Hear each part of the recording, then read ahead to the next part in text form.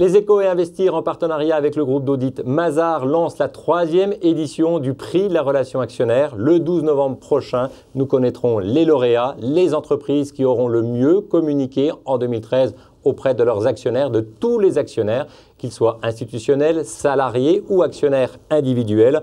Pour participer à ce prix de la relation actionnaire, les entreprises doivent remplir un dossier. C'est l'une des grandes particularités de ce prix. Ça lui donne toute sa valeur, sa légitimité. Pour en parler, j'ai avec moi Monsieur Eric Schwaller. Bonjour. Bonjour. Vous êtes associé dans le groupe d'audit Mazar. Est-ce que vous pouvez nous expliquer la méthodologie de ce prix? Oui.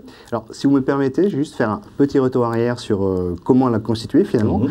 Donc, on a travaillé ensemble sur, euh, sur une série de, questions et également avec euh, les associations de place, que ce soit les associations d'investisseurs ou des associations plus portées sur la, la gouvernance.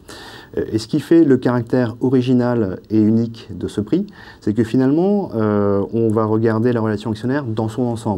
Hein. on a des thématiques qui portent notamment sur le rapport annuel, le rapport financier, des thématiques sur l'Assemblée générale, des thématiques sur euh, le site web euh, et, la communication, des thématiques sur, euh, sur l'information financière dans, son sens général.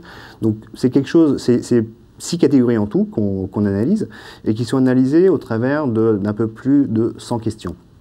Et ce prix, en fait, il y a trois catégories finalement vous avez la première catégorie qui sont les grandes capitalisations, donc c'est le CAC 40 et les, 20 capitalisations suivantes. La seconde catégorie qui porte sur les mid-cap et la dernière catégorie qui est plus portée sur les small cap. Donc on collecte euh, les réponses à, ces questionnaires et ensuite il y a tout un travail de vérification euh, de chacune, euh, chacune des questions qui donne lieu à une synthèse, synthèse que l'on présente au jury. Qui il faut combien de temps aux entreprises pour remplir ce, fameux dossier? Alors il faut compter, il faut compter une, bonne, une bonne heure. Et après, il y a un vrai travail d'audit du groupe Mazar. Oui, absolument. Alors, c'est justement ce travail de vérification où on prend toutes les réponses, elles sont analysées, vérifiées, euh, il y a une attribution de points. On présente donc une synthèse euh, au, jury qui est présidé par euh, Henri Lachman et qui, cette année, comprend également les lauréats du, prix précédent.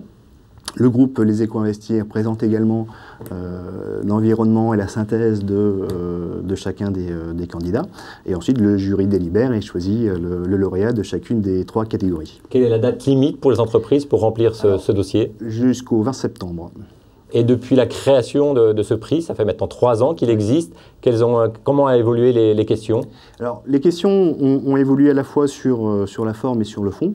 Hein. sur la forme, ce qui, la première, euh, dans la première édition, euh, les entreprises devaient le remplir de façon intégrale, hein, n'avaient pas, pas, possibilité de faire de pause ou de revenir dessus. cette année, le, le questionnaire peut être imprimé. Euh, ce qui permet de travailler dessus euh, à tête reposée. Euh, on peut le saisir ensuite en ligne, on peut y revenir, donc plus de facilité pour, pour le remplir. Également sur donc, le, le fond, sur les questions, cette année, plus de, plus de questions ouvertes. Et cette année, même si les entreprises qui, ne gagnent pas, elles sauront euh, à peu près euh, comment elles se placent dans, le, classement, éventuellement euh, là où elles ont été bonnes, là où elles ont été un peu où il y a encore du travail. Absolument. Et, c'est justement ce qui est intéressant. Comme justement nous analysons toutes les réponses, ça nous permet d'avoir un benchmark assez complet. Et c'est ce benchmark-là sur chacune des catégories qui fait l'objet de discussion au sein du jury. Donc cette année, on fera une restitution peut-être un peu plus globale sur, sur l'ensemble des réponses. À toutes les entreprises qui auront répondu. Je vous remercie, M. Chevaler, pour toutes ces précisions. Merci et rendez-vous au 12 novembre.